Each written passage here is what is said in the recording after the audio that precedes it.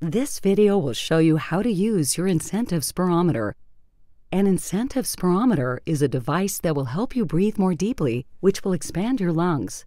The parts of your incentive spirometer include the base, the mouthpiece with flexible tubing, a piston that shows how much you inhaled, a coaching indicator, and a marker to mark the highest level you reached with the piston.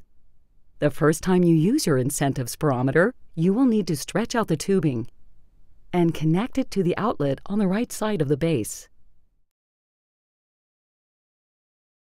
To begin, sit upright in a chair or in a bed.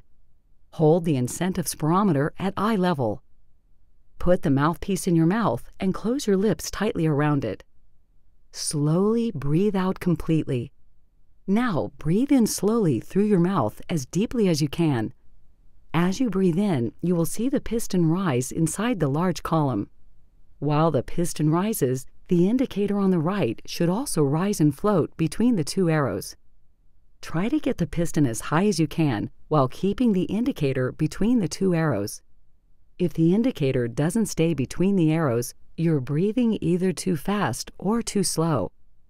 When you get the piston to reach as high as you can, hold your breath for 10 seconds or as long as you can. While you're holding your breath, the piston will slowly fall to the base of the spirometer. Once the piston reaches the bottom of the spirometer, breathe out slowly through your mouth. Rest for a few seconds. Do this 10 times.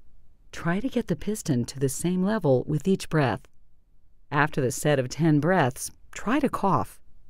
This will help loosen or clear any mucus in your lungs. Put the marker at the level you reached with the piston. This will be your goal next time. Repeat these steps every hour that you're awake. This will help to re expand your lungs after your surgery and prevent other complications like pneumonia.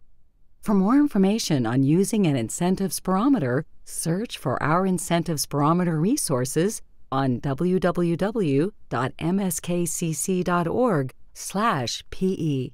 If you have any questions, contact your nurse or respiratory therapist.